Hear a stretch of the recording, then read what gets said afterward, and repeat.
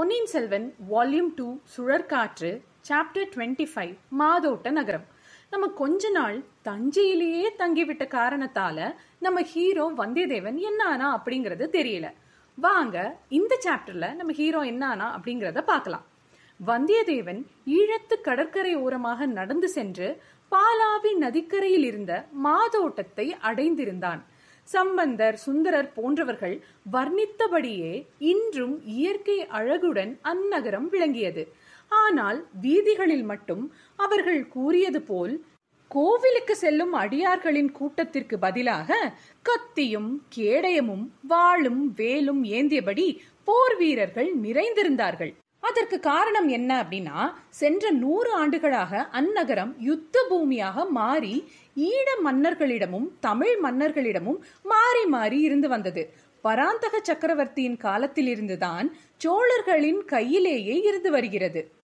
அது ஒரு துறைமுக நகரம் அப்படிங்கிற காரணத்தினால அந்நகரின் கோட்டை மதில் மீது கடல் அலைகள் மோதி சப்தமிட பெரிய சிறிய மரக்கலங்களில் இருந்து இறக்கப்பட்ட வியாபார பண்டங்கள் மலைமலையாக குவித்து வைக்கப்பட்டிருந்தது. இவற்றையெல்லாம் வேடிக்கை பார்த்தபடியே அந்நகர கோட்டை வாசலில் வந்து நின்றான் நம் வீரவாலிபன் வந்தியத்தேவன். சோழ சேனாதிபதியை காண வேண்டும் என்று அவன் கூறியும் காவலர்கள் உள்ளே விட மறுத்துவிடவே கடம்பூர் மாளிகையில் நடந்த மாதிரி அதே யுக்தியை இங்கேயும் கை கொள்ளலாம். அப்படியெல்லாம் நினைத்தபடி அதே மாதிரி இங்க காவலர்களை தள்ளிக்கொண்டு உள்ளே நுழைய முயற்சி செய்யவே அவர்கள் அவனை சிறைப்பிடித்து கோட்டை தலைவரிடம் அழைத்து சென்றார்கள். அவரிடம் தான் அருள்மொழிவர்மருக்கு ஓலை கொண்டு வந்திருப்பதாகவும் விவரங்களை இலங்கை படை சேனாதிபதியிடம் மட்டுமே கூற முடியும் என்றதால் அவனை சோதனை செய்துவிட்டு ஓலையையும் பழுவூர் பனை லட்சணையும் இருக்கவே உடனே சேனாதிபதியிடம் கூட்டி சென்றிருக்கிறார்கள். அப்போது இலங்கை படை சேனாதிபதியாக இருந்தவர் வானதியின் பெரிய தந்தை கொடும்பாளூர் பெரிய வேளார் பூதி விக்ரமகேசரி. ஆனால் காவலர்கள் வந்த விபரம் கூறியபோது அவர் முதல் மந்திரியான அனிருத்த பிரம்மராயருடன் ராமேஸ்வரம் வரை செல்ல இருப்பதால் இவ்வீரனை காவலில் வைத்திருக்கும்படி தான் திரும்பி வந்து விசாரிப்பதாகவும் கூறிவிட்டு சென்று விட்டார் எனவே வந்தியத்தேவனை ஒரு பாழடைந்த மாளிகையின் அறையில் போட்டு பூட்டிவிட்டு காவலும் இருந்தார்கள். ஆனால் அதை பற்றி ஒன்றும் கவலை ஒன்றும் இல்லை நம்மளுடைய வீரவாலிபன் வந்தியத்தேவனுக்கு. இரண்டு மூன்று நாட்களாக அலைந்திருந்த காரணத்தால் நன்றாக ஓய்வெடுக்கலாம் என்ற எண்ணமே வந்தது. வந்த முதல் நாள் என்னவோ ஓய்வு கிடைத்தது. இரண்டாம் நாளே பெரிய தொல்லை ஏற்பட்டுவிட்டது. அடுத்த அறையிலிருந்து யாரோ ஒருவன் ஏய் இந்தா சீ போ போ கிட்ட வராதே கொன்று விடுவேன். அடுத்து நொறுக்கி விடுவேன் ஜாக்கிரதை. உன் உயிர் உனதல்ல. யமலோகத்துக்கு அனுப்பி விடுவேன். ஒரே உதையில் உன் உயிர் போய்விடும். என்றெல்லாம் யாரையோ அதட்டி உருட்டி மிரட்டிக் கொண்டிருந்தான். ஒரே குரல்தான் கேட்டதால் யாரை மிரட்டுகிறான் என்றும் தெரியவில்லை. ஒருவேளை பைத்தியமாக இருந்தால் தூக்கம் தொலைந்ததே என்று எண்ணியபடி அவனும் படுத்துக் கொண்டிருந்த போது அடுத்த அறையிலிருந்து சொன்னால் கேட்க மாட்டாயா? என்ற வார்த்தைகளுடன் அறையில் தொப்பென ஏதோ ஒன்று வந்து விழவே வந்தியத்தேவனுக்கு தூக்கி வாரி போட்டது. அப்போ அது என்ன என்று திடுக்கிட்டு பார்க்கும்போது கலகலவென சிரித்தான். ஏனெனில் அது ஒரு பூனை. அதே சமயம் அடுத்த அறையிலிருந்து ஓஹோ உனக்கு சிரிக்க வேறு தெரியுமா? சிரி சிரி இங்கே மட்டும் வந்து விடாதே என்று கூறியதை கேட்டதும் இவன் சரியான பைத்தியம்தான். ஆனால் இந்த குரலை எங்கேயோ கேட்டிருக்கிறோமே என்று யோசித்து பார்க்கும்போது அவனுக்கு ஞாபகம் வரவில்லை. எப்படியோ இனியாவது தூங்கலாம் என்று கண்ணை மூடிறான் திடீரென காலில் ஏதோ வளவள என தட்டுப்படவே கண் விழித்து பார்த்தான். பூனை காலை தடவி கொஞ்சிக் கொண்டிருப்பதை பார்த்து எரிச்சலுடன் ஒரு உதை விட்டு விரட்டினான். மீண்டும் தூங்க ஆரம்பித்தான். ஆனால் அந்த பூனையோ கால் கை முதுகு தலை என மாறி மாறி வந்து செல்லம் கொஞ்சி விளையாடியது. எத்தனையோ முறை உதைத்தும் பிடித்து தள்ளியும் விரட்டியும் மீண்டும் மீண்டும் வந்து தொந்தரவு செய்யவே அப்பூனையை கழுத்தில் பிடித்து தூக்கி இரண்டு அறைகளின் சுவருக்கு மேல் ஏற்பட்டிருந்த பொந்தின் வழியாக அடுத்த அறைக்குள் தூக்கி வீசினான். அங்கே சிறிது நேர ரகளைக்கு பின் மனித குரல் போ தொல்லை என்று சபித்தபடி பூனையின் மியாவ் மியாவ் குரல் சிறிது சிறிதாக தொலைவில் சென்று மறைந்துவிட்டது. வந்தியத்தேவன் நிம்மதியடைந்து கண்ணை மூடினான். ஆனாலும் அரை தூக்கமாகவே இருந்த நிலையில் இளைய பிராட்டி அருகில் அமர்ந்து அவன் நெற்றியை தடவி விடுவதாக கனவு கண்டு மகிழ்ந்திருக்க அடுத்த அறையிலிருந்து யாரோ சுவரை தட்டியபடி யார் அங்கே? பூனையை எடுத்து இங்கே யார் எரிந்தது என்று அதட்டிய குரலில் கேட்ட கனவும் கலைந்தது. விழிப்பும் வந்தது.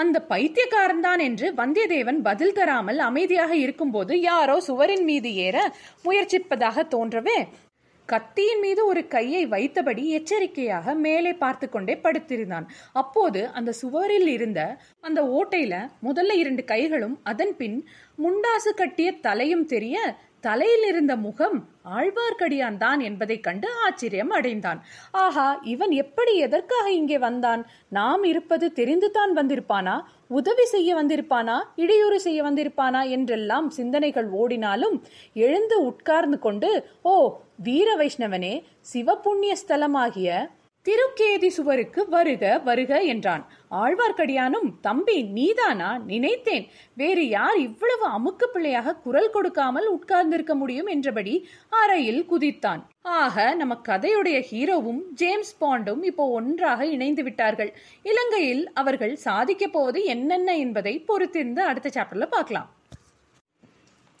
சாப்டர் டுவெண்ட்டி சிக்ஸ் ரத்தம் கேட்ட கத்தி.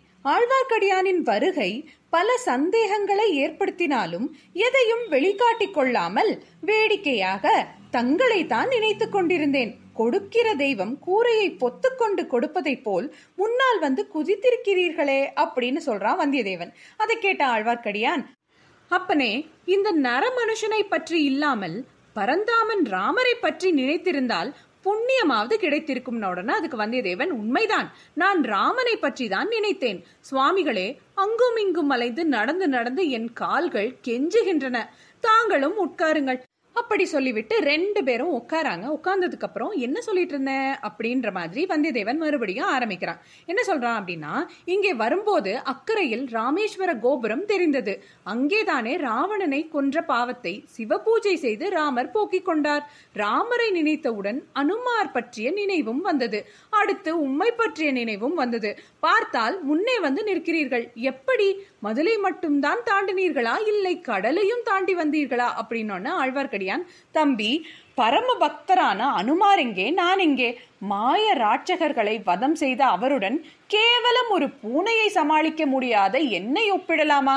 பார் என்னை எப்படி பிராண்டி காயம் செய்திருக்கிறது? என்று தன்னுடைய கைகள் கால்கள் எல்லாம் காட்டும்போது வந்தியத்தேவனும் அடடா இப்படி செய்து விட்டதே ஆனால் ஒன்று சுவாமி அதே பூனை இங்கே என் அறைக்கு வந்தபோது என் நெற்றி மார்பு கைகள் கால்கள் என வாலினை தடவி கொடுத்து கொஞ்சி விளையாடியது. இதன் ரகசியம் என்ன தெரியுமா? அது வைஷ்ணவர்களை பிடிக்காத ஒரு வீர சைவ பூனைன்னு நினைக்கிறேன் உடனே ஆழ்வார்க்கடியான். ஆஹா இது எனக்கு தோன்றாமல் போய்விட்டதே.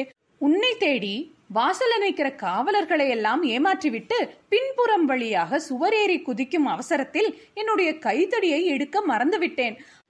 அது இருந்திருந்தால் அதை தேடி போய் நாலு சாத்து சாத்தி இருக்கலாமே அப்படின்னு சொல்ல அதை கேட்ட வந்தியத்தேவன் அது இல்லாததே நல்லதாய் போயிற்று. இந்த சிவஸ்தலத்திற்கு வந்ததிலிருந்து என் வீர சைவ கத்தி எப்படியாவது ஒரு வீர வைஷ்ணவனுடைய ரத்தம் கொடு என கேட்கிறது.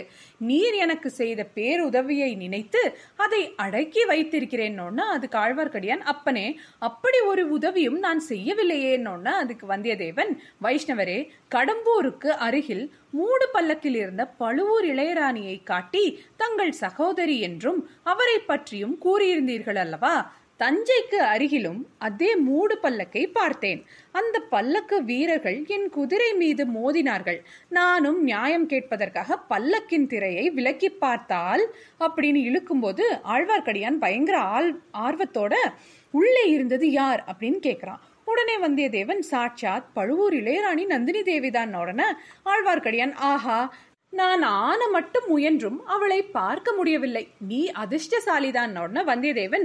அதிர்ஷ்டம் அப்படித்தான் தானாகவே வரும். அவரிடம் தங்கள் பெயரை சொல்லி தாங்கள் முக்கிய செய்தி ஒன்றை தேவிக்கு சொல்லி இருப்பதாக கூறினேன். அவரும் பழுவூர் முத்திரை மோதிரத்தை தந்துவிட்டு அரண்மனைக்கு வந்து சந்திக்கும்படி கூறி சென்றார்கள் உடனே அதை கேட்ட ஆழ்வார்க்கடியான் அடேங்கப்பா உன்னை போல் கூசாமல் பொய் சொல்கிறவனை இந்த பிரபஞ்சத்தில் எங்கும் பார்த்ததே கிடையாதுன்னொன்னு வந்தியத்தேவன் அடிகளே என் மூதாதையர்களுக்கு கவிஞர்கள் மீது பிரியம் அதிகம். அவர்களே கூட கவிதைகளும் பாடியிருக்கிறார்கள். இந்த ரத்தம் என் உடம்பிலும் ஓடுவதால் சில சமயம் கற்பனை பொங்கி வருகிறது.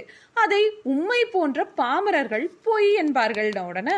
ஆழ்வார்க்கடியான் நல்லது. அப்புறம் நந்தினியை சந்தித்தாயா? அப்படின்னு கேக்குறாரு. அதுக்கு வந்தியத்தேவன் பின்னே சந்திக்காமல் இருப்பேனா? சந்தித்து என் வீர தீர பராக்கிரமங்களை எல்லாம் எடுத்து கூறியதை கேட்ட நந்தினி தேவி ஒரு முக்கியமான வேலையை கொடுத்திருக்கிறார்கள். அதாவது இலங்கை அரச வம்சத்தினர் நம் தேசத்து பாண்டிய மன்னர்களின் மணிமகுடத்தையும் இந்திரனிடமிருந்து பெற்ற ரத்தின மாலையையும் இங்கே ஒழித்து வைத்திருக்கிறார்களாம்.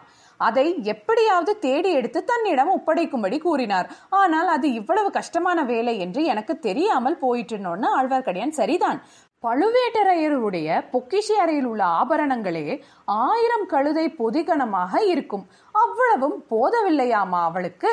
சரி வேலையை முடித்தால் என்ன தருவதாக கூறினாள்னு கேட்க அதுக்கு வந்தியத்தேவன் தஞ்சை கோட்டை காவலை பிடுங்கி சின்ன பழுவேட்டரையரிடம் இருந்து பிடுங்கி எனக்கு தந்து விடுவதாக கூறினார். உடனே ஆழ்வார்க்கடியான் தம்பி அப்படி கிடைத்தால் நான் தங்கு தடையின்றி கோட்டைக்குள் வந்து போக அனுமதிப்பாய் அல்லவா வந்தியத்தேவன் அழகாய்த்தான் இருக்கிறது. இப்படி அடைப்பட்டு கிடக்கும் எனக்கு தஞ்சை கோட்டை காவல் கிடைப்பதெப்படி? பழுவூர் இளையராணி மோதிரத்திற்கு இங்கும் செல்வாக்கு இருக்கும் என்று எண்ணியது தவறாய் போயிற்று. சந்தேகத்தில் சிறைப்பிடித்து விட்டார்கள் உடனே அதை கேட்ட ஆழ்வார்க்கடியான் தவறுதான் செய்து விட்டாய். கொடும்பாளூர் வம்சத்திற்கும் பழுவூர் வம்சத்திற்கும் இடையில் பெரும் பகை உள்ளது என்பது உனக்கு தெரியாதா? சரி சரி அதை பற்றி கவலைப்பட வேண்டாம். உன்னிடம் ஒரு சமயம் ஒரு உதவி கேட்டேன். நீ மறுத்துவிட்டாய் ஆயினும் இப்போ உன்னை விடுதலை செய்ய உதவவே நான் வந்திருக்கிறேன். உடனே கிளம்பு. இக்கணமே இங்கிருந்து தப்பி விடலாம் உடனே வந்தியத்தேவன் வேண்டாம் வைஷ்ணவரே தாங்கள் உடனே கிளம்பி விடுங்கள். வீர வைஷ்ணவ ரத்தம் வேண்டும் என்று என் கத்தி அதிகம் புலம்புகிறதுன்னொன்னா அது காழ்வார்க்கடியான் பரவாயில்லை என் உடம்பில் அதி அளவுக்கு அதிகமாகவே ரத்தம் உள்ளது. கொஞ்சம் உன் கத்திக்கு கொடுத்தால் ஒன்றும் ஆகிவிடாது. நீ உடனே வான் உடனே வந்தியத்தேவன் இல்லை அடிகளே எத்தனையோ நாட்கள் இரவு பகல் பாராமல் அலைந்ததில் எனக்கு தூக்கமே இல்லை. இன்று நன்றாக தூங்கி ஓய்வெடுக்க இருக்கிறேன். நீங்கள் சென்று வாருங்கள் ஆழ்வார்க்கடியான் தம்பி என்ன இப்படி சொல்லுகிறாய்? இளைய பிராட்டி குந்தவை தேவியிடம் ஒப்புக்கொண்ட காரியத்தை முடிக்காமல் ஓய்வு இல்லை என்று கூறியதன் அர்த்தம் இதுதானா? இந்தா இளைய பிராட்டியின் ஓலை புறப்படு அப்படின்னு சொல்றாரு. இதுவரை இந்த ஓலை இல்லாமல் கிளம்ப முடியாது. அதே சமயம் தன் வாயை பிடுங்கி உண்மையை அறிய முயலும் ஆழ்வார்க்கடியானிடம் ஏமாந்து விடக்கூடாது என்ற எண்ணத்தில் கதை கதையாக அளந்து கொண்டிருந்த வந்தியத்தேவன் ஓலையை ஆர்வமாக வாங்கி சோதித்து பார்த்துவிட்டு இது எப்படி தங்களிடம் வந்தது என்று கேட்டான். அதுக்கு ஆழ்வார்க்கடியான் சேனாதிபதி விக்ரமகேசரி தான் இதையும் பழுவூர் லட்சணையையும் கொடுக்க சொல்லி உனக்கு எப்போது இஷ்டமோ அப்போது புறப்படலாம் என்று கூறினார். அப்படின்ன தங்களுக்கு என் மனமார்ந்த நன்றி வைஷ்ணவரே இளவரசர் எங்கே இருக்கிறார் என்று தெரியுமான்னொன்னு ஆழ்வார்க்கடியான் நன்றி எல்லாம் சமயம் வரும்போது கொடு போதும். இளவரசர் அனுராதபுரத்தில் இருந்து மலைநாட்டுக்கு சென்றிருப்பதாக அறிந்தேன். உன்னோடு வழிகாட்டி உதவுமாறு சேனாதிபதி கூறியிருக்கிறார். உனக்கு இஷ்டமானால் உன்னிடம் வருகிறேன் உடனே வந்தியத்தேவன் மீண்டும் லேசா அதே சந்தேகத்தோட சுவாமிகளே புறப்படும் முன் சேனாதிபதியை பார்க்கலாமா அப்படின்னு கேட்கிறான் அது காழ்வார்க்கடியான் அவசியம் பார்க்கலாம். இளவரசி வானதி தேவியை பற்றி சேனாதிபதியிடம் செய்தி கூறாமல் எப்படி செல்ல முடியும்னு கண்டிப்பாக இந்த வீர வைஷ்ணவனுக்கு ஏதோ ஒரு மாய சக்தி இருக்கிறது. அதனால் தான் எல்லாமே நடந்தது எல்லாமே அவருக்கு தெரிகிறது என்று எண்ணி வியந்தபடி வந்தியத்தேவன் கிளம்புறான். ஆதித்த கரிகாலனின் ஓலையை அவர் இவர் என பலரிடம் இடையூறுகளை தாண்டி இளைய பிராட்டியிடம் சேர்த்தது போல் இளைய பிராட்டியின் ஓலையை பொன்னியின் செல்வரிடம் சேர்த்து விடுவானா? மேலும் பார்க்கலாம். அடுத்த வீடியோவில் until then like share and subscribe and do not forget to hit the bell icon see you soon bye